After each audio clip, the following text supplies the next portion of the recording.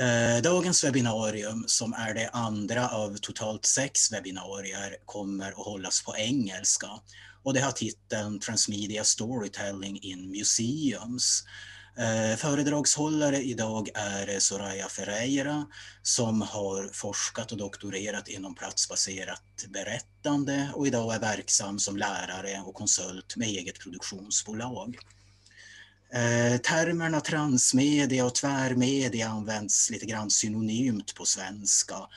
Eh, men att tekniken är densamma. Det handlar om att jobba med berättande och berättande över många olika plattformar och över olika plattformsgränser. Dagens webbinarium kommer genom fallstudier att eh, beskriva de tre huvuddelarna av tvärmedialt berättande, nämligen berättelsen, plattformen och publiken. Och kommer att ge praktiska råd om hur en organisation, ett museum kan komma igång med att tillämpa metoderna i sin egen verksamhet.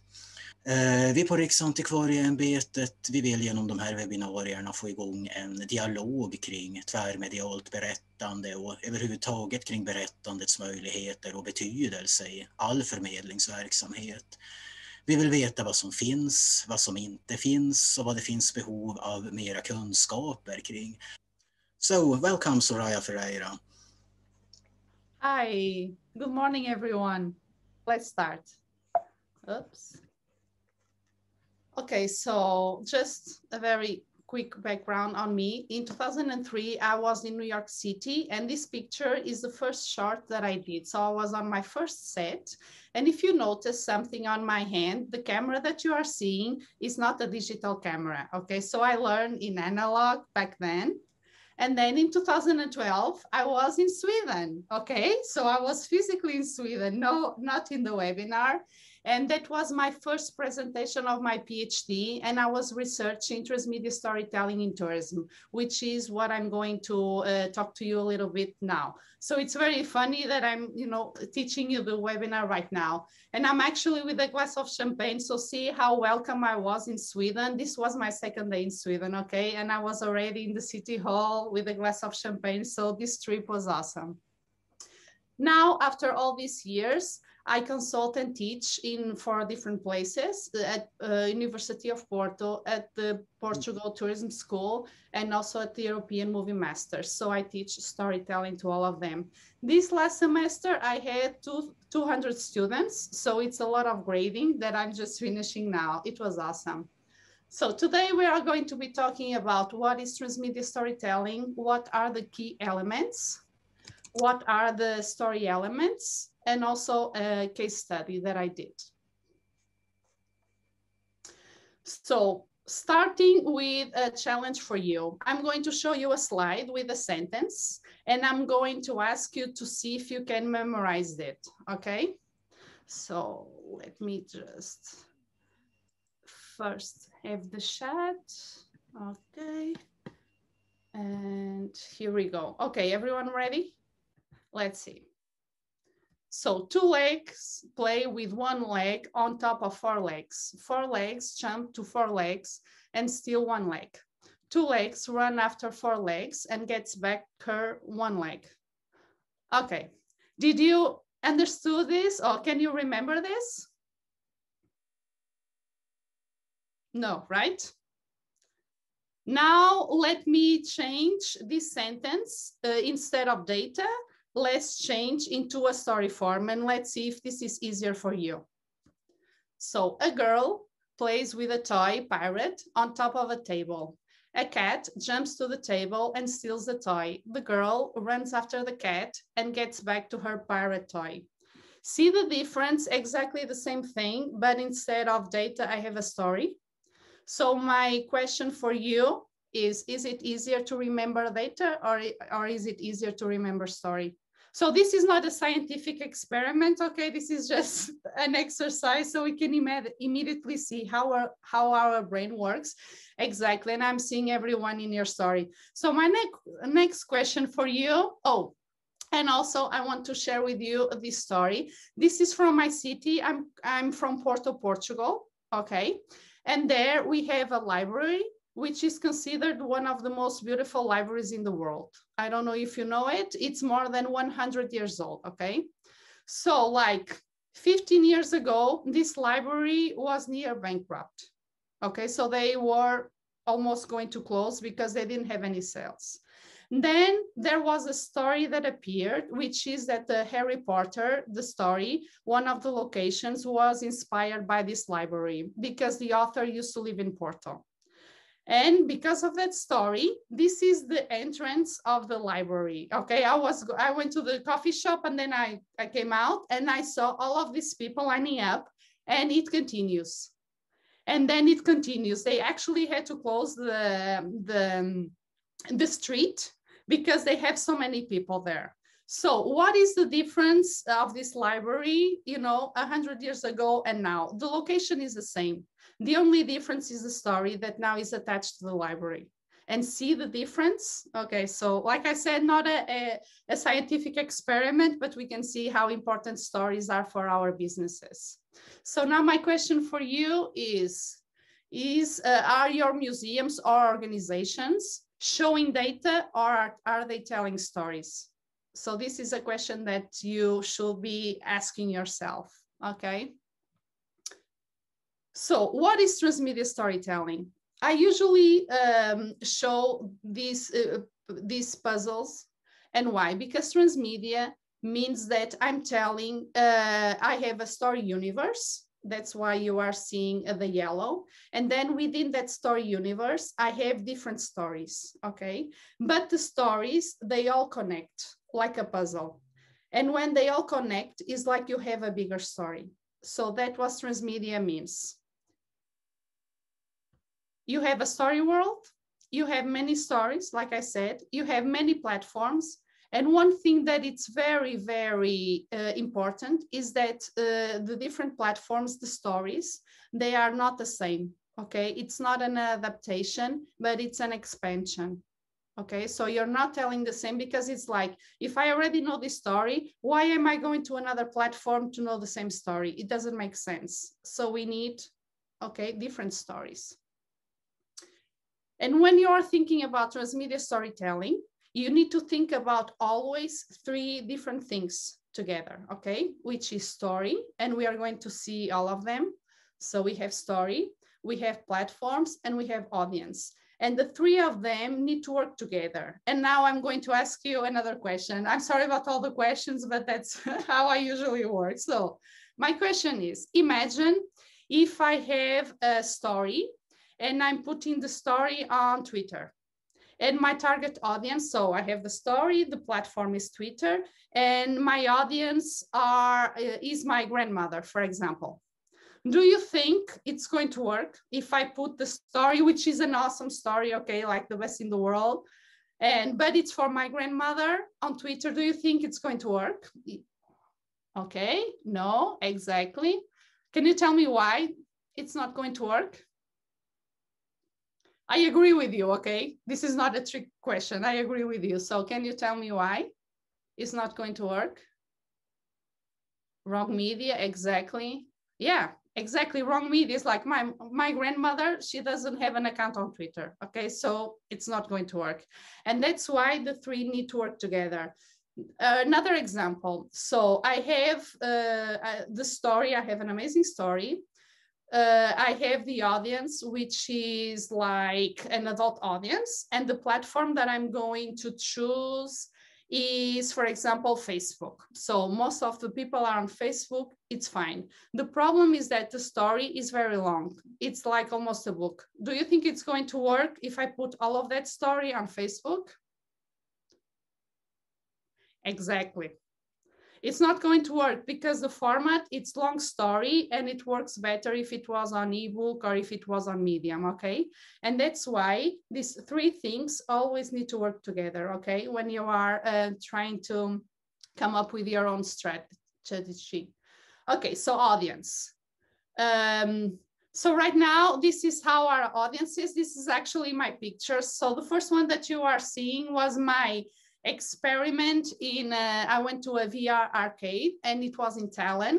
because I teach at the European Movie Master, so I had to go to Estonia to teach there at university. And as, as soon as I finished school, I went to the to the shopping mall and they had this arcade. So I was experimenting with this.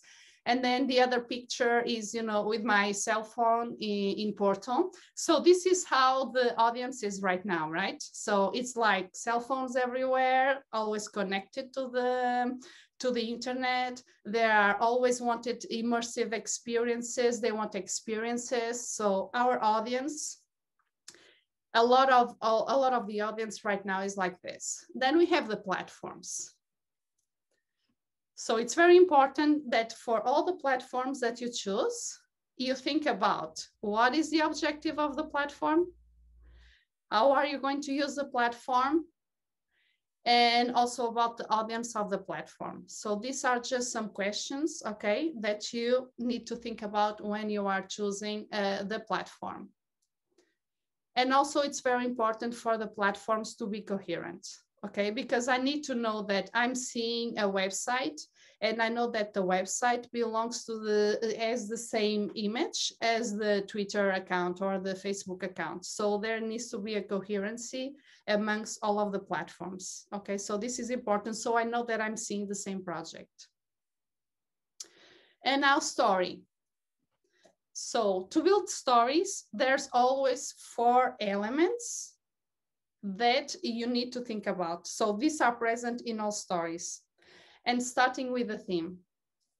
Then we have characters, story world, and story structure. So let's start with theme. So this is my birthday cake, okay? As you see, stories everywhere with me, even my birthday cakes need to tell a story, okay? So this is the year that I was researching transmedia storytelling tours. And that's why on top, you are seeing the different platforms. So you see there's like a game, a camera, email, you know, cell phone, computer. So you have the platforms on top. And then below you have the symbols that represent tourists. So that was my theme of the cake.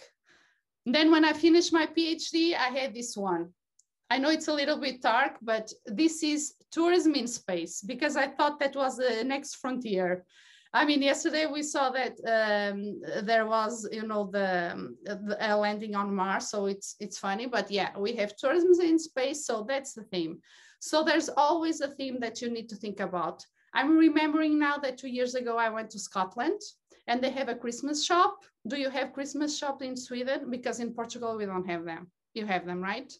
Okay, so I don't know if it's the same thing in Sweden. You'll let me know. But when I, because I saw a Christmas shop, I never saw one before, so I entered and it was June. Okay, so when I entered the Christmas shop, the first thing that I heard was Merry Christmas. And when I heard that, I gave a step backwards because I was, it's June, okay? June is in the middle of Christmas. So why is she wishing me Merry Christmas? But then I, I thought about it and I'm like, she's completely right. Because this is a Christmas store and the theme is Christmas. So how do you greet people in Christmas? You wish them Merry Christmas, see? So that's the theme. Uh, characters. Continue in Scotland. When I arrived, it was midnight, uh, mid, uh, midnight. Okay, everyone was really tired. And when we left the airplane, which now, I mean, I think for everyone, it seems like ages ago, right? Being on an airplane and and coming off. But okay, so we went down, and then we had the bus to take us to the to the to our luggage. And then on the handles, they had stories, and I couldn't believe that on the bus, okay, in the airport, they were already telling the stories of Scotland. So this was one information that I saw. The unicorn is the national an animal of Scotland. I didn't know this, and they had much more information people thought I was crazy, you know, because I was like so excited at midnight, you know, inside the, the bus. But yeah, they had stories everywhere. And then when I was, you know, sightseeing Scotland, I was seeing unicorns everywhere. They were in the fountains, in the walls, everywhere. And I knew the meaning because I had that information as soon as I left the airplane. So this is a very interesting character in Scotland, okay? Then the story world the story world. In portugal there's a, a, museum which is a chocolate factory. It's actually a hotel a museum and a store and it's all about chocolate. So as soon as you are entering the building you have like chocolate melting on top of the ceiling. And then you enter and then the the lamp is like chocolate flowing. And then on the table you have more chocolate. And the walls are like um, pieces of chocolate. So i mean okay, story world chocolate, we have no question about it. So that's the story world. Story structure. Okay. So this is the simple story structure that you can have. Okay, the story has a beginning, middle, and an end. This was Aristotle's that told us a long time ago, and it's still valid. Okay, so we have time, place, and character. That's how uh, we begin our story. And then we have the inciting incident. This is the reason why the story takes place. And then we have the progressive complications, which is the conflict. And then we have the climax, which is the dramatic part, which is um, higher. And then we have the resolution. So I'm going to show you an example of how I built this structure in a project that I did, because I think it's, it's easier for you. So in 2018, I because I in all my projects I always experiment different platforms. So in this one, I never published a book on Amazon. So I really wanted to see how it was, you know, the whole process. So I did this prototype and it was called Travel Guide for Kids Porto. So the origin of the story was that my goddaughter was going to turn one years old, one. So I was thinking, what was the gift that I could give her? That, of course, is not buying gifts because I, you know, I can give her a lot of gifts like that. But I wanted one gift that I made myself. And I was thinking to myself, what is the most important thing that I can give her? And for me, it's the culture. Okay. So I wanted to give her a story of her culture, which is mine, so she in the future knows uh, knows it so that's the beginning of the of the story and then I divided the book into three different parts. So the first one was your adventure. So it was very simple text. So the kids could go uh, could go on this adventure. Then we had the second part, which was historical information. So it's more information about the monuments for the parents. And then there was a third part, which were the games, because I thought it was fun to have games uh, connected to the story. So I, I did the games also. So what is this story about? So the main character of the story is Prince Henry the Navigator. He was one of the, the people responsible for the kickoff of the Portuguese discoveries. Okay, so he's the main protagonist. And the story is the, chi- uh, the child must um, go after the sword that Prince Henry has and defeat Adamastor. Adamastor was a monster that was created by a Portuguese poet uh, more than 500 years ago. And this monster represents uh, all the dangers of the discoveries. So it's like a metaphor. So what I did was I went and researched the locations in my city that had to do with this story. And then I organized the, the, um, the locations. So the beginning of the story, it has three locations. And the first location is a church, okay? And the first location, the part of the story is your mission. So the character, Prince Henry, he's saying to the child, your mission is to find my sword. And for that, um, the, the child goes to this church so she can see the prince, uh, an image of the prince. Then the second place is uh, where I was born. So this is actually the house where this prince was born. He was born in Porto, I mean, a long time ago, but the child goes to the house to see the house. Then the third location is uh, my secret mission. So the mission of Prince Henry, which is true, okay, was to build a fleet in Porto. And then with the fleet in Porto and Lisbon, they go, they went to Africa and conquer Ceuta. So these are the three uh, first locations. Then in the middle, we have the conflict and everything that was necessary for this trip. So we have the building of the ships. So this is a lighthouse in Porto, which is uh, one of the oldest in the, the Iberian Peninsula. And then we have preparing food for the boat. praying, which is Porto Cathedral. Then we have conquering Ceuta, and then getting ready to fight the Adamastor, which is finding the sword. So all of these locations are connected to the middle of the story.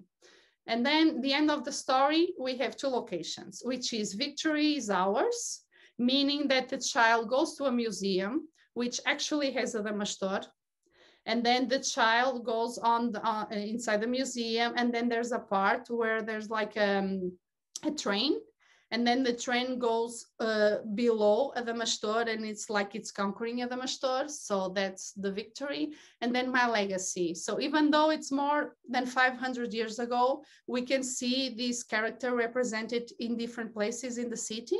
So this is just for the child to understand that, you know, you can see this character in many places. So this is the story and see how it follows this uh, structure.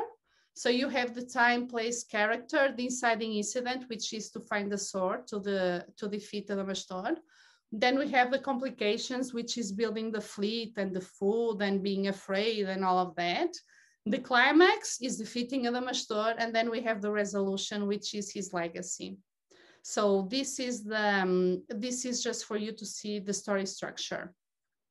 Yes, you can have the slides afterwards. Uh, I don't know uh, if Victor can send them to you or if you send me an email and I'll send you the presentations. I don't know. Awesome. And he knows the, the word thank you in Portuguese. That's awesome. I was going to try that, but I was afraid. So, so I don't know, Victor, at the end, when we are question and answering, okay, we'll see what, what is the best way for everyone to get the slides. Okay. So anyone uh, sometimes they so anyone has any question about this project so i can go and continue the presentation? Hmm? okay. Moving on. This is my second project that i want uh, to present to you and this is my, it was uh, the project that I did for my PhD, and it's a transmedia storytelling project. Okay, so now you are going to see all the platforms working together. So it took place in 2012, and the story was uh, simple. It was uh, the, the tourists coming to Portugal, they were challenged to discover a hidden treasure. So my idea for this project was instead of people having those travel guides, you know, that are huge, they had a project like this. This doesn't mean that you need to go to all the locations. It just means that you go to the locations that you want, okay? But you need to have a lot of them. So I created these characters. So you have the protagonist of the story, uh, which is Peter and I put, uh, and he's called Peter Smith because it's one of the most common names that I, I did a Google search so everyone can identify with being Peter Smith, okay. Then I have Kevin Smith. And why did I create this character? Because uh, there was YouTube and and peter was talking to someone so i needed to create a character for him to be talking to someone so it was a little brother that had to stay in in uh, england and why did I choose England? Because when I did my research, the English tourists are the, the ones that come most to Porto. So that's why he's English. Then on the other side, you have Philippe. And the reason why he's very black was because when I created him, I still didn't have an actor to represent him. So that's why he's very black. So at the end, I could choose any character, uh, any actor to play him. Okay, so this was a project with a very little budget, and that's why I had to do stuff like that. And then you have Miguel, which is the mentor of the story. So the, those are the characters that I created. The other ones, the characters of the story, they are all real. So they are the kings and the merchants. So all the other characters are real, okay? So how did I create the story? Uh, yeah, they were, oh man, I don't know why. Yeah, I mean, now that you are pointing out, yes, I don't know why, because I wrote the story. So it made sense for me to have any female, but next time I need to do that. So um, in terms of how did I write the story, I read more than 50 books on Porto story. So I read from all the different historians I read everything that I could, and then I organized the story. I picked the locations that I thought made more sense, and then I organized the stories into chapters. So for example, we have the Roman chapter, which is when uh, the Romans were here in Porto. Then we have, for example, the Porto siege. We have the, the Porto wine, which I know that people come here to Porto to try the wine. So I had to have a chapter like that. So I had all of, the, all of those chapters. And how could you do the story? You could do the story in three different ways. So the first way was to do the story from beginning to end in terms of chronological order. So this is the part of the Romans, and then you did the whole thing like this, okay? Then you that was one option. The second option was to do only the chapter that you want. For example, I visit Porto and I only care about the wine. I don't want to know anything else. So you go to the chapter of Porto wine that you are seeing here and then you have an introduction and then can you see these little circles so these circles are the locations uh, it's below the 28 on the on the red it's above the story the souvenir the wind there's four circles and these are the locations that are associated with this chapter so there was this this location and then there was this and then another one. So if you could only change the picture and I think the, oh, okay. The uh, let me try and share again the presentation, okay? Because you are telling me that it's frozen. Okay. Okay, can you see it's moving? No? It seems like it actually just started screen sharing, but we don't come further than that. Um, wow. And I didn't even change anything. No, that's really weird. Um, yeah, hang on. Try, try that again. Um, just. Yeah. I'm going to, to share the whole screen. Can you see the whole screen? Uh, right now, we're not seeing anything there. Okay, um, cancel. Oh, hang on, hang on, hang on, because I wasn't, uh, it's not yet. Okay, can you see it? No, we actually can't. It just oh. stops at at the screen just before it. I've never been through this before, so this is uh, this is something new. Yeah, um, I mean, usually with me, those. Okay, so now I'm just sharing that. No, still no. No, no, it's still not. Uh, maybe we should actually try to. Uh, if you just log out and uh, come back in, and uh, okay. we'll see if we could uh, solve it that way. Okay, I'm going to log out. I'm sorry about this, but yeah. No, okay, don't I'm be logging sorry. out, and then I'll come out. Okay. Yeah. So hang on. See you soon.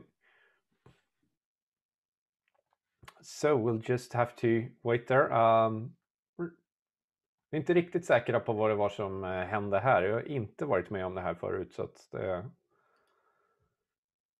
märkligt. Vi testar bara att se om Ser ni ett fönster nu?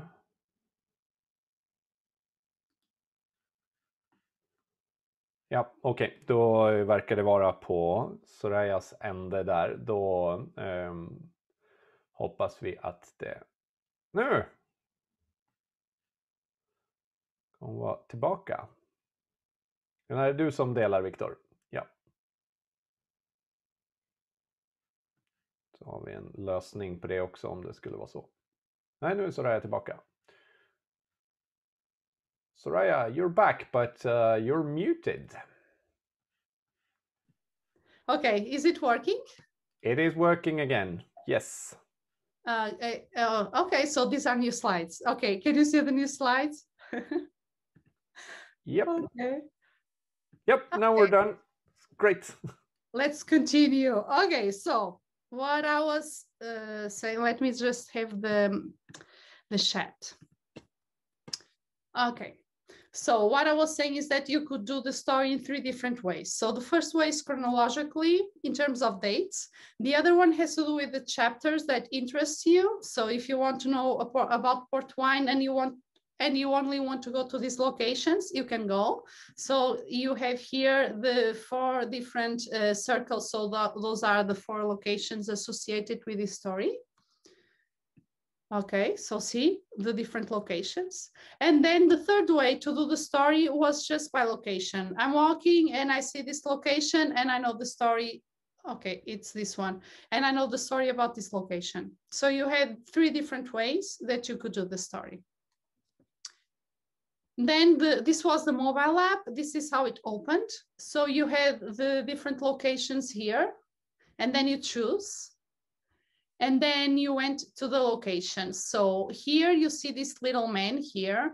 And I did this because whenever I travel, I always get lost, always. And I said that in the project that I do, I'm going to make something that this is not going to happen. And so I inserted this little man. And it means that when you click, it's like I'm here and immediately it gives you the way to the location that you want. I mean, now this is pretty simple, but back in 2012, you know, it wasn't as simple as it is now. Then the other problem that I had with the project was that these are historical monuments. So I cannot have people actually going to the monuments and try to find the treasure, okay? Because they cannot touch anything and I needed to be careful with that. So I invented a frequency that the treasure emanates. Okay, so there's a frequency that can only be uh, known by the cell phone. So it's like you need to go to the location, do the check-in, and then it gives you this message. Do you want to check in and find out if the treasure is there? And you say yes or no, and then it's searching for the treasure. And then I didn't want anyone to find any treasure. So the answer was always no, and you need to continue to the next location. And I'm going to show you why I did that, okay? So another thing that the app had, because you know that tourists, they always want souvenirs. So I didn't have any budget for you know, physical souvenirs. So I invented the digital souvenir, which is this one. So you put here the picture that you want that you took on your mobile and immediately it gives you this frame and you can share it on uh, the um, on email, on Facebook, and also on Twitter. Back then, we didn't have Instagram and all of that. Okay, so these were the social media that were uh, most common. And then you share this with your friends. So this was the digital souvenir.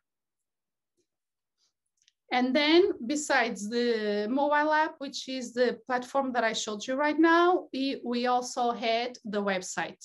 So this was the website. Here on top, you have the social media related to the project, which is Facebook and Twitter. Then you have here the, the, the trailer and then follow Peter. And here you have the social media of the main character. So he was talking to the people directly. And it was interesting because when I was doing an um, interview to the radio, the host, uh, she asked me, oh, so the, this means that now we can walk in Porto and meet Peter. And I was thinking to myself, okay, I invented Peter. He doesn't exist. Am I going to say, it's like, you know, telling uh, children that Santa Claus doesn't exist. You know, I was thinking, okay, am I going to tell people that no? Oh yes, so it was interesting. And then here you could share your experiences. So we have the mobile app, we have the website, and these are the platforms that I was talking to you about. So you had Facebook and Twitter for the project itself. And then you have the three platforms of the character. Peter, uh, it was the um, Pinterest, YouTube, and Twitter. So for example, on Twitter, something interesting happened uh, I was telling people, oh, I'm going to this location. And people started interacting on Twitter saying, oh, I'm loving the picture. It was actually on Sunday. Uh, back then, there were no, you know, um, scheduling posts. So I had to do everything by hand every day. And this took three months, the whole project. So it was Sunday. I was having a break at a, um, a friend's house and then I posted the this post saying, oh, I'm going to this location. But the audience thought it was really interesting and they sent me, you know, uh, messages saying, oh, I love the pictures. I want to see more. And if you have people telling you, I want to see more, what do you do? You go and you give them more, right? So so people didn't understand why, why I wasn't having lunch and I was, you know, in the computer trying to see and find more pictures that I had. And then I was putting them on Twitter and people were interacting. So that was very cool. Then on Pinterest, the results were also very interesting because Pinterest was a very new network in 2012, but I heard about it and everyone was saying, oh, for tourism is going to be important. And I said, okay, so why not? Let's experiment. And it was actually the, the network that had more followers. It was Pinterest. And it was interesting because people uh, were putting the pins and creating boards uh, relating to travel and to food, which was exactly what I wanted. So Pinterest was also very cool. And then we had a print map because in 2012, we didn't have so many smartphones like we have now. And people were always complaining, saying, oh, but if I don't have a smartphone, how can I do the project? And I'm like, okay, fine, I'll do the, the print map. So actually the city hall, uh, they allowed us to use this map and then I put on top the locations. And this map was being um, given at the airport and also at the tourism center. So people would arrive to the city and this is how they had the first contact with the, the project. So this was the print map. And now let's go, uh, and now let's go to experiences. Because for me, visiting a place, it's not only seeing the monuments which they are awesome, but it's much more than that. So when you visit Porto, and I hope everyone now, you know, I'm like, okay, come to Porto and visit Porto. But uh, if you visit Porto, there are several things that I think everyone should try and do. So the first one has to do with drink port wine. Okay. So I had, so I, I went to um, a wine cellar and I told them about the project. So they were one of the partners of the project. So if you went to the wine cellar, you will have an extra location that was only on the wine cellar. Then another partner was the food. Okay, very important the gastronomy here. So if you visit Porto, you need to try different kinds of food. So I had a restaurant. It was a partner restaurant. Here it is. So this is the, um, the street, Ribeira, which is the, um, uh, by the river. And then here you had the extra location of the story. Be because remember, uh, transmedia storytelling is not the same story. You have different pieces of the story. So if you want to, if you went to this location, you had another part of the story. And of course you have the experience part, which was to eat, this is codfish because you know that uh, Portuguese people are crazy about codfish, a lot of them. So one of the dishes was, was codfish, okay? So we have the wine, we have the food, and then the other thing is the boats. See the, the boats, Rabelo boats, they are very traditional. So you need to do the, the sightseeing inside the boat and go under all, all of the bridges. So that was another partner of the project, okay? And if you went there, you had another location. And then I had the, oh, and then I had a souvenir shop because they, you know, they, they, they love that. So I had a souvenir shop. Let me just see the chat. I say the print mat, you can see the better of the whole area. Yes, I agree. i mean the project with Peter. Uh, oh, if it exists, okay. So it's like the website is no longer present because Google only likes re responsive uh, websites. And in 2012, that was a concept that didn't exist yet. So the website is not. The um, social media is all there. If you want like a archive, the app, the problem with the app is that on, on the iPhone, it's not working anymore because of all the new versions. But my students told, them, told me that for Android, it's still working. I don't know why. So if you have an older version of iPhone, it should work. It's on App Store. And if you have the Android, also try and you'll have the app to, to see if it's working. The print map, I have some copies. Okay, I only have a copies that were left. Okay, uh, so you have those four partners, okay? And you have pieces of the story also in those four partners. So the, I mean, I was doing the project more or less alone, and then I had to ask help to different teams to do it. But I still wanted more for this project. So I wanted for this project to be a social responsibility project. So I looked for um, So I looked for an institution that I believed in. And here in Porto, we have a hospital, like the main hospital. And the pediatric wing was, I mean, they needed work and they need to build a new pediatric wing. So I went to them and I told them, well, I can give you publicity for the project and see if, if we can raise more awareness because I knew money, it will be a little bit of money, but still what I did was I created a menu in the restaurant, which was called travel plot menu. And when the tourists bought the menu, one euro went towards this hospital wing. So by the end, the treasure that was fake in the beginning because it didn't exist by the end, it was actually money that was donated to the city. So it's like the tourists that visit Porto, they actually left something that helps the, the people that live here. And this is how it looks like, okay? So here, the app, map, and website, this is how you can do the project even in an active way. So you need to be active and looking for the platforms. If you want to be on your couch and do it in a passive way, because now with COVID, we need to do things in a passive way, you have this part of the project, which is the video, Twitter, and Pinterest. Because the main character, he was going to all the locations, okay? So you could do the project in an active way and in a passive way. So you have here the map, uh, the app, the map, and the website.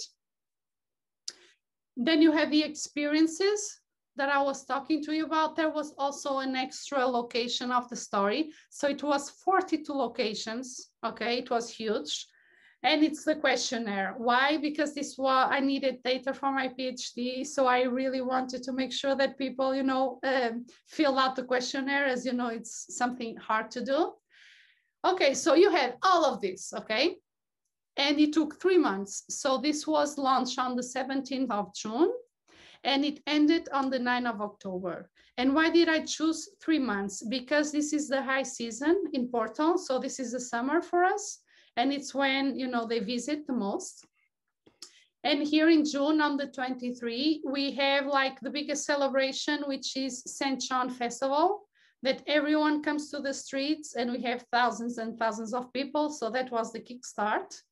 And then the end on October, it's when we, I mean, in terms of the wine, we go and, co and collect the grapes, the, the grapes. So that, that has to do with the wine theme. So we have all of this and they're still missing. So people went and looked for the locations and the treasure. They didn't find anything, right? But as you know, the story has the beginning, middle, and an end. So we have the beginning, let's go and find the treasure. The middle, we cannot find the treasure. And now the end is finding the treasure, okay? So I put the treasure, the story finale was actually inside the wine cellar because of the theme, uh, the theme of the project. So here are the two characters. So this is the British character.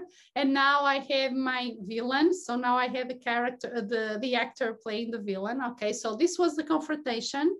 It was a live confrontation inside the, the wine cellar. And this is the finding of the treasure. so you have here the tourists that were there. And here you have the treasure. So now just some side notes. I wanted the treasure to be inside the wine barrel, but I didn't understand anything about wine barrels. Okay, I had no. I thought that okay, so they are old, and and I I just go there and ask for uh, one barrel, and then I put the stuff inside. That's what I thought. I didn't realize that old wine barrels are even more valuable and the smell of the wine inside, how am I going to put anything inside? Okay, so that was just something that I discovered doing this project. But I actually went to this a store like Home Depot in Portugal, and they had two vases. They look like wine barrels. So I put one vase on top of the other. And that's why you have them like that, because they are actually two vases, two plant vases. And then the problem was that to open, they had to open like this. So in the wine cellar, all the barrels, they are lying. And then this one had to be like this because it was the only way to open. So of course it was really easy to find where the treasure was. But see, these are the things that we need to do to discover. So this was the end. But then we also had a resolution. And the resolution was asking people on the on Facebook. So we discovered one of Porto treasure, which was this, but the city has many more treasures. So tell me for you, what is another treasure that city has? So that was the question that I put on Facebook and then people also answered. So that was the resolution of the project. So the um, press conference, I did a press conference, which is what you are seeing right now. And as I told you, the theme is like, I want to do the press conference inside a boat. See this boat? So I have the press conference inside, that's the Rabelo boat. Uh, and then we have here the press, and this is the mascot for the hospital. So the mascot was also here with me, and then you have all the press. And then this is the backdrop of the city. So this was all theme related. Then in terms of press, it was really good. So I went to the radio. This is just a picture of the, the, the news. So it was on the news saying it was an innovative project. Then, for example, on Facebook, Visit Portugal, which is the organization here in Portugal um, that's in charge of the tourism. They took the project and they um, released it. Also, the newspaper. So we had, you know, a lot of press on the newspapers. And then on Twitter, so this is just the feedback, so you can see some feedback that I got from the people. So one of them just wrote, uh, wow, beautiful, thanks for sharing. Wish I could be there too. I'll be waiting for more pictures, which is exactly what we want, right? We are there, yes, we want people to come. Then I had another one saying I'm from Porto. No one loves some of these places, but never bother to visit certain places. After your pics, I'll change that. So that's what we want. We want people that are from Porto to get to know, you know, their own city. And then another one was your tweets are making me want to treasure hunting in Porto. So this is just some feedback that I got, and it's what I, uh, we needed. And then uh, another objective of the project was for it to be a case study in different areas because transmedia storytelling involves a lot of things. So I did this search on Google and you can see that it's a case study in different books. So you can see it's in language and arts, this in computers, in business and economics. So it's like it was able to cross all over. And now my question is, I showed you all of this. So can transmedia storytelling work in museums? I think yes. I think it made, makes total sense because you have a huge story world that has so many stories that you cannot, it's not possible to share in a single platform. You also have different platforms uh, that allow you, for example, now with COVID, people don't need to go to the museum to have access to the stories of the museum. So you can have them in the different media. It also allows you to engage so it's really, really important to have a strategy like this. I, the results that you can expect. You can have, uh, you, your brand visibility can be increased. You can reach different audiences. You can create shareable experiences. And you can also generate loyalty and engagement. So these are all things that you can um, have by doing a project like this. Let me just read really quickly the, um, the chat. So the crucial problem, the technical changes. Yes, I mean, technology, I cannot even begin to tell you the, all the problems of technology. For example, one of the main problems that I had with this project, you want to know what it was? It was the internet so Porto, when I released this, there was no free Wi-Fi. I mean, they had like a pilot experience, but when people arrived to the airport and they were in the city, they couldn't have, uh, they couldn't connect um, for free to the Wi-Fi. So how could they uh, then load the app? So that was one of the problems that we had back then. Then after this project, now you have free Wi-Fi. And then the problem is always, yes. And for example, now the algorithm of the social media it's a, also a problem because you need to pay to play right so to be on social media so there's a lot of problems Then, how did the people search for the treasure during the summer uh, take part in the resolution? I mean, everyone who participated in the treasure hunt could not exactly. So the uh, because tourists in Porto usually they only stay two to three days. So it was expected for them not to find the treasure, okay? And they were they were going to see the end of the story in the social media. So the objective was for them to to see that. Okay, uh, and are there any conditions with co-working with the platforms? Okay, I didn't understand that question, but we'll we'll go over it at the end, okay? Nina. Well, the question is, are there any conditions with co-working with the platforms? But then we'll talk and it's going to be easier to respond. Oh, another thing that it's really, really, really important, okay, is that there is no formula for transmedia projects, okay, no formula. So for each project, you need to think about what is the story that you want to tell, what is your audience, where is the context that you are in and the resources that you have at your disposal because everyone is in a different situation okay? So the fun thing about transmedia is the adaptation that it has. For example if you want to start i started with all of these platforms at the same time because i had a year to prepare and then i launched this okay?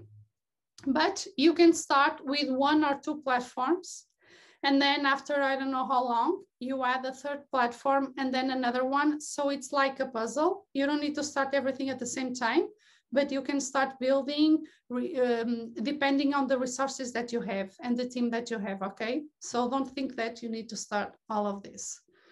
Okay, let me just see more questions.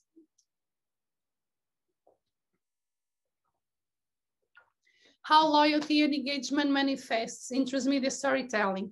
So loyalty means that I launch one platform and then if I launch another platform, the, the audience knows that and then they can follow it. So they are becoming loyal fans because they are following the different platforms of the of the of the museums or organization or the projects and in terms of engagement is because as you saw the project that i just showed you uh, people uh, they engage with the project so you saw people engaging with peter so they were sharing and they were telling me i want to know more about this and i want to more more, more about that so that's how the engagement is also um, being seen like this and also oh the cost okay are there any conditions with co so I think Nina is talking about the costs of the platforms. I can tell you, for example, on Travelplot, the, the project that I just showed you, I had different partners and they helped me with the costs. So even though they weren't giving me money, they were helping me, you know, using their facilities and giving me some resources that they had. So of course, the, the costs were uh, divided. So step by step, it was what I was talking about, okay? Transmedia is step by step, okay? You don't need to do everything at the same time. So if this is a, the project that I'm doing right now, the Transmedia Storytelling Project, this is a business uh, project, which is my brand. It's called Story SD.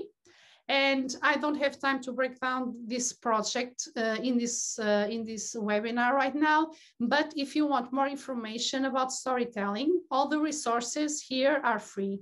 So you have a podcast that I do and you have the lecturers and recommended podcasts, re recommended books. I mean, the whole thing, okay? So everything you can consult for free. So if you want more information about all of this, you have here. And this is the end, which is I was supposed to finish at 10, eh? 10 1. So now we have time for your questions. So if you want to put questions, you can turn on the mic and we can talk, okay? I'm going to stop sharing.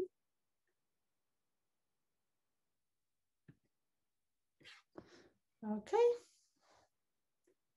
Excellent.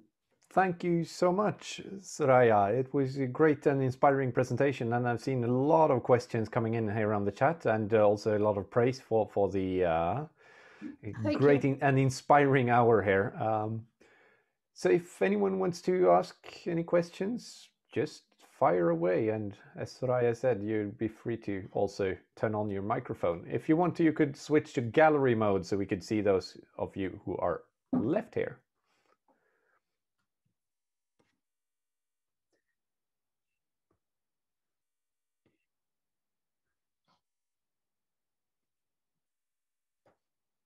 As you can see, there's still coming in a lot of praise here. so, okay, thank you so much.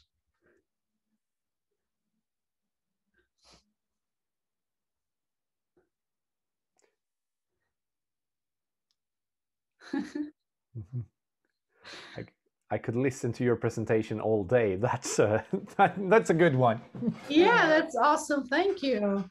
Mm. You know, my problem actually is to reduce to one hour conversation because I have much more. And that's why we were talking about doing a workshop because I have much more to, to talk about. Uh, Soraia, Yes. Yeah, I, I just uh, I got so tired of the chat, so I thought yeah, I that's why I said now let's let's talk. Let's talk. Yeah. No, I, I, don't have any interesting things to say except a very big thank you to you, and it's oh. very inspiring, and it's also a challenge. For example, for me, working at a, a communal museum with no budget at all, to try to find ways and I think there are ways, just that we have to update our technical knowledge. I'm a dinosaur in technique. So uh, I'm starting to learn. So thank you very, very much. You're welcome. But actually, I mean, I think the first step that everyone needs to do is just to see what is the content that they have and the stories that they have.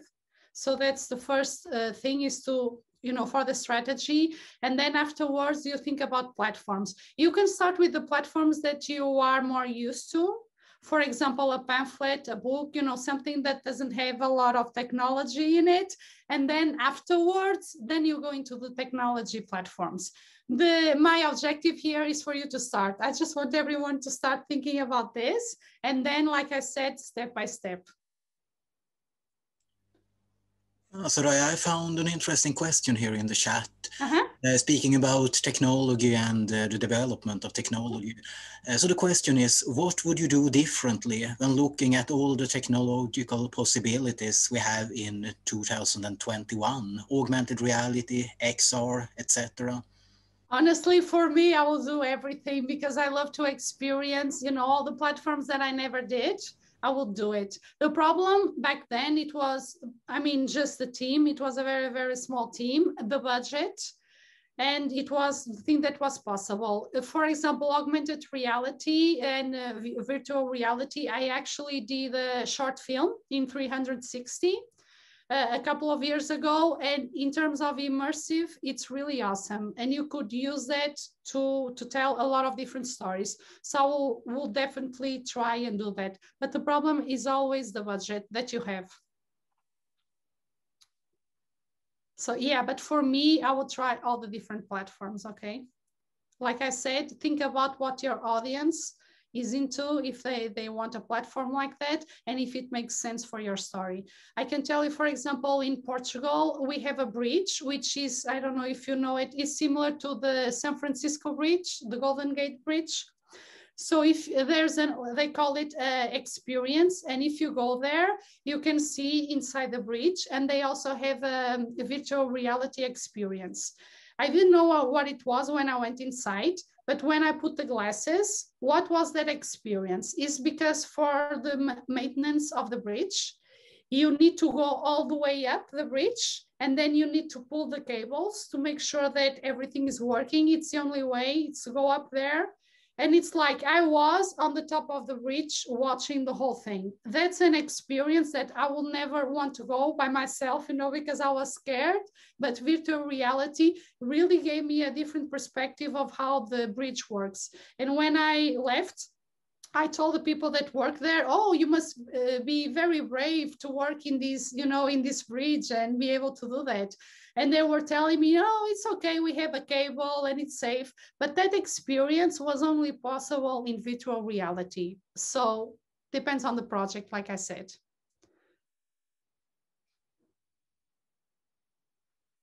Okay, thank you did get a question here about uh, what methods you suggest for evaluation of the experiences. Uh, for me, it's really just do a little bit of research. I know the platforms, each platform has a set, you know, of, uh, of, um, of parameters that we need to know. And then I see the audience and then I think about what the success looks like for me to use that platform. If I want, you know, this type of behavior, for example, on Twitter, I wanted people to engage. So if I had people replying, I wanted that type of engagement. I want X amount of followers. So I make all of those parameters and then that's how it works. Is your job still alive for tourism? So like I said, it's not, I mean, you can find the platforms somewhere. And in terms of tourism, right now, what I'm doing is consulting and training in the in this area. So I don't know if I answer this question. And then what about working together with storyteller performers? Awesome. I think it's awesome. Okay. There's nothing like telling stories um, face to face okay? Nothing like that. I mean i'm talking this and i have a phd in digital media okay? So i do have a phd but there's nothing nothing uh, like uh, talking face to face and having uh, actual human beings you know uh, in the projects. Uh, have to leave. Thank you. Yes the museum itself is also a platform. Exactly. Yes. So thank you so much Soraia for this and everyone else for participating in this uh, great lecture here. It's been very inspiring also to us. Thank you very much for the invitation and the opportunity to talk with everyone. As you can see, something that I really love. So